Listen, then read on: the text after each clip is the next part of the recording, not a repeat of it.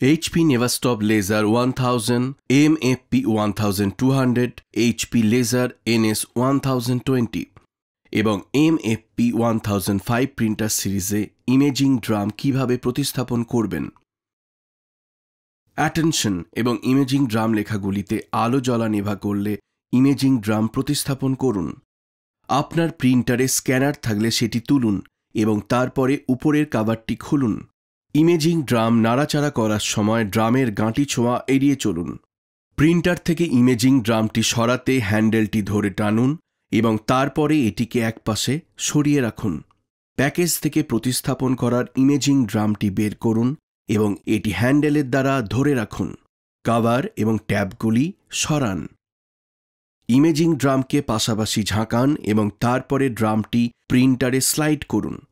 উপরের কাবারটি বন্ধ করুন এবং তারপরে আপনার প্রিন্টারের একটি স্ক্যানার থাকলে সেটি নিচে নামান এবং তারপরে প্রিন্ট করা চালিয়ে যান।